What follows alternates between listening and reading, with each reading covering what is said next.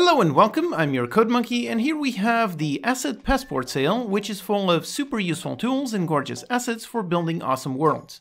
This is a quick one, it's only live for one week, so if you're interested in something, go ahead and pick it up quickly. I've already picked up two assets myself, so hopefully you will also find something you're interested in. They are all at a really nice 50% discount. And by the way, I've been working on a series doing asset reviews where I go through an asset to see how it works and how to use it. It's an interesting new format, the first video should be out next week, so make sure you hit the bell icon so you don't miss those. Alright, so let's see some highlights. First of all, one of the assets that I picked up myself, Curved Worlds. I've been interested in this one since it came out a couple of months ago, like the name implies, you create curved worlds like for example what you see in Animal Crossing. The important thing is the effect only lives inside the camera, so you build your game like normal without having to place your transforms in any weird positions, you just put everything as normal and the effect makes it look curved. You can curve the world down like a globe, or curve it left or right or twist it to make some really interesting effects. There's even a demo in case you want to see it in action. Then if you're looking to build a realistic world with tons of vegetation, you have Vegetation Studio Pro, easily create some gorgeous looking procedural biomes, make forests, deserts, lava, plains, and snow mountains. Use the intuitive editor to position the areas exactly as you want them.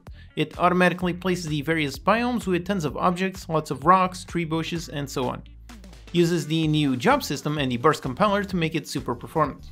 Or if all you want is just some grass, then check out GrassFlow. It's a highly interactive, extremely performant grass simulation shader that simulates every single blade of grass.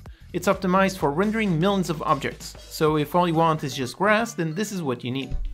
If you want something a bit more urban, here is the Japanese Street Asset Pack.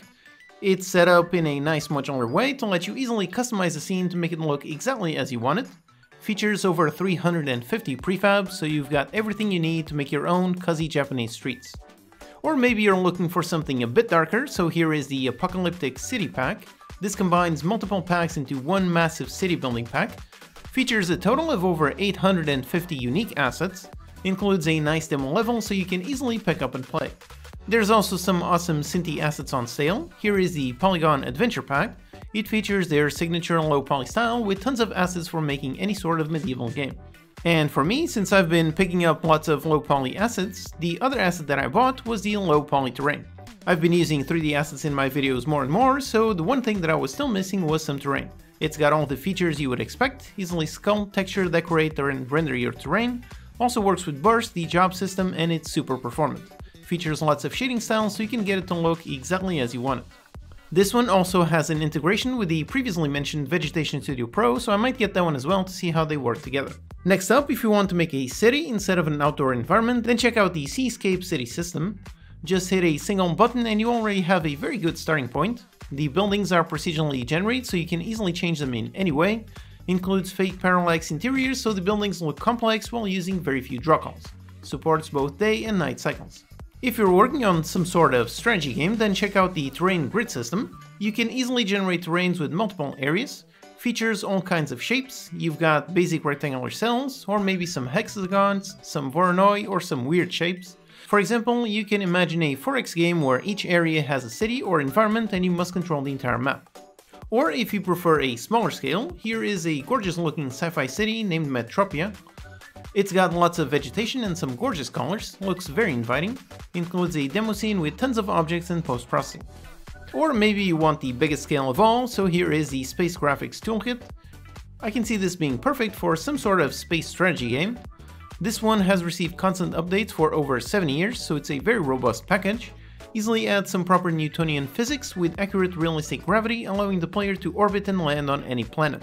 It features tons of celestial objects, it's got planets, asteroids, procedural starfields, debris, black holes, rings, auroras, and so on. If you're looking for just a massive mega pack, then here is the Medieval Village Kit bundle.